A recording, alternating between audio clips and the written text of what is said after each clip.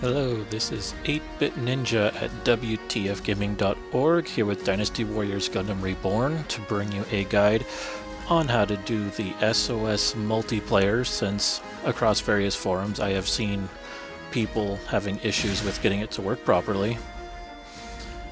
So first off, we need to go into the options menu right there.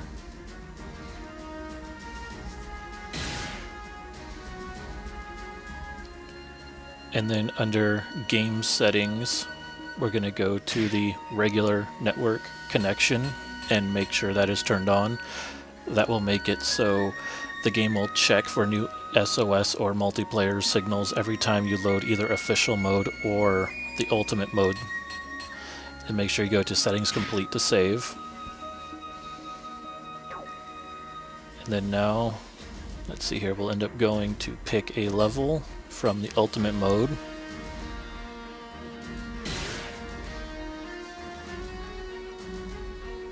And it says there that it found an SOS signal, which is means a person's waiting for a multiplayer partner, and it shows up right there next to your level.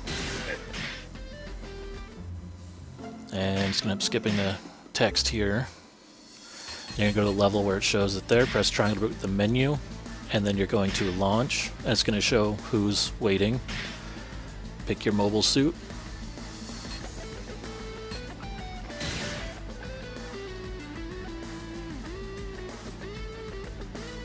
And it's going to connect.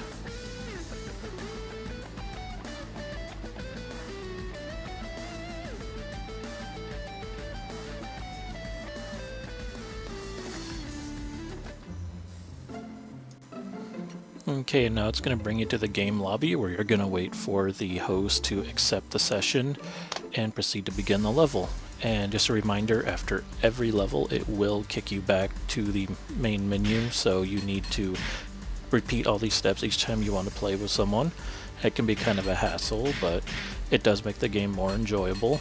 And if you like this video, please subscribe, and we will see you next time.